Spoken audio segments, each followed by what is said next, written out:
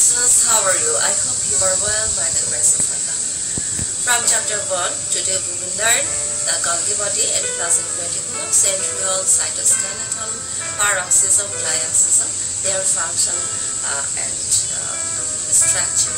Golgi body. There are certain vesicular, tubular or flattened sac-like structures rest parallelly found near the nucleus is known as body. These structures were first observed by Camillo Golgi, an Italian scientist in 1898, while he was examining the nerve cells of cat and owl. Golgi bodies consist of three types of components, cisternae, vesicles, and vacuoles. Cisternae, it is a flat part covered with a single layered membrane that remains parallel the polarity and concave towards the nucleus. Vacuole, it is sac-like part remain with cisternae. They are originated from the extended part of the wall of endoplasmic reticulum.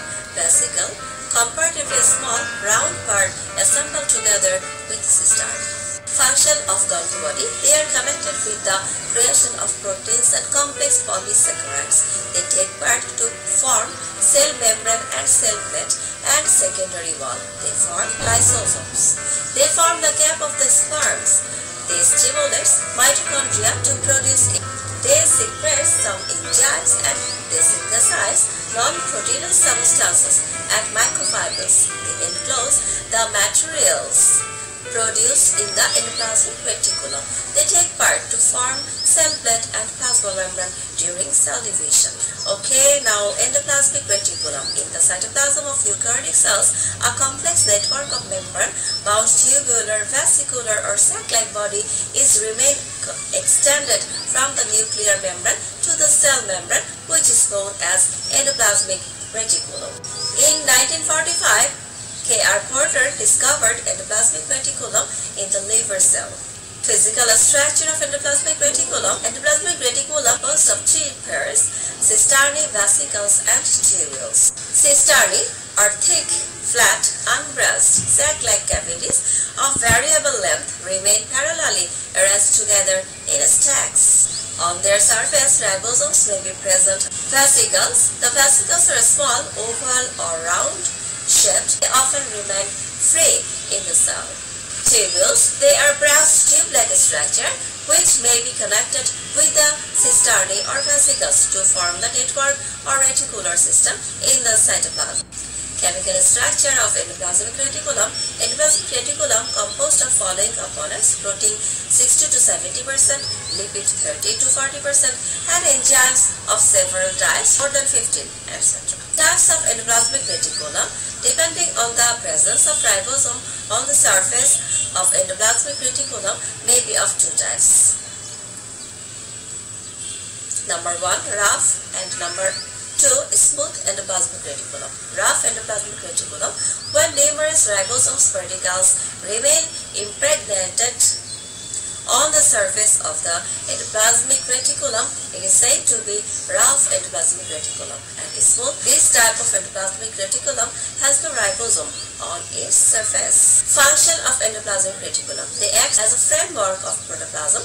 Protein is synthesized in rough endoplasmic reticulum. Tubules work as internal carrier of lipid and protein. In smooth endoplasmic reticulum, probably lipid, hormones, glycogen, ATP, uh, etc. are synthesized. They take part in various metabolic functions of the cell. It helps to make nuclear membrane after cell division. Centrosome, a cell organelle located near to the nucleus made of centriole and centrosphere is known as centrosome. Centrosome consists of two pairs, a pair of centrioles and centrosphere. Centrioles. Centrioles is a small barrel or dumbbell-shaped long hollow cylinder made up of triplets and tubules. Centriole consists of three pairs, one cylinder wall, two triplets, and three linkers. The wall of the centriole is usually composed of nine triplets of microtubules. The centriole are chemically composed of protein, lipid, and ATP. Generally, it is found in the animal cell. During cell division, the two centrioles become separated and move to the two opposite poles. Centrosphere, there is a dense solid area around the centrosome is called centrosphere. Chemically, centrosome generally consists of protein, lipid and ATP. Recently, presence of DNA and RNA has been noticed. Functions of centriole. It forms the spindle system during cell division in animal and unicellular eukaryotes. They help in chromosomal movement. It functions in the development of cilia and flagella. It helps the formation of tail of sperms. They direct the separation and movement of chromosomes during cell division.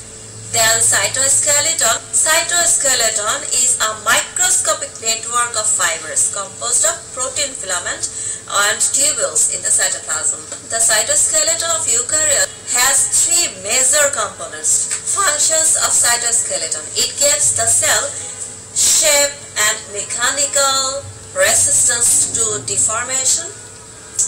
It is involved in many cell signaling pathways it is involved in the uptake of extracellular material. It segregates chromosome during cellular division. It is involved in cytokinesis. It can be template for the construction of cell wall. Peroxisome. Peroxisome contain oxidative enzymes such as catalase, D-amino acid oxidase, uric acid oxidase certain enzymes within the peroxisome by using molecular oxygen remove hydrogen atoms from a specific organic alkaline substances. In an oxidative reaction, produce hydrogen peroxide. Hydrogen peroxide is a toxic substance and harmful to the body. Catalase enzyme uses this hydrogen peroxide to oxidize other substances including phenols, formic acids, formaldehyde and alcohol by means of the peroxidation reaction. The reaction is important in liver and kidney cells where the peroxisome detoxify various toxic substances that enter the blood about 24% of the ethanol alcohol human drink is oxidized to acetaldehyde in this way. In addition, when excess hydrogen peroxide accumulated in the cell, catalase converts it to water. Okay, your homework is function of Golgi body, endoplasmic reticulum, centrioles, peroxisome and cytoskeleton. Thank you all to stay with us. I hope you all submit your homework properly and if there is any problem you must share with your subject teacher. They will solve